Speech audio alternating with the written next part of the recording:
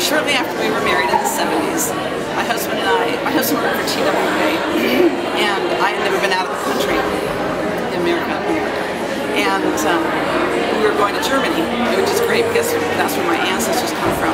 And we were going to be a week in Munich, and so we flew in and everything, and we wanted to take a side trip up to Neuschwanstein, see the castle where King Ludwig was and all that. And uh, so we got on a train the train station, and I sat down in our little box car, and my husband was sitting next to me, and um, I pulled out my stitchery to do, and a project was going to take an hour or so to get there.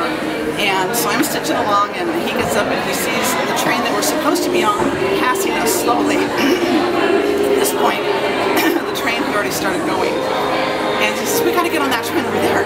He says, come on, we got to jump off the train. And I'm going? Jump off the train? Are you kidding? Know? And so he jumped